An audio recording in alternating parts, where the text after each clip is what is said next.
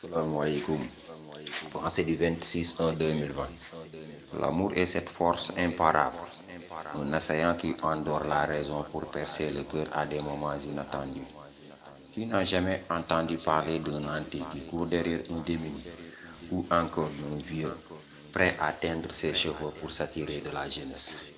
Qui n'a jamais aimé ne saurait interpréter les caprices de l'amour mat la ko bàyyi ca taal ko boppam.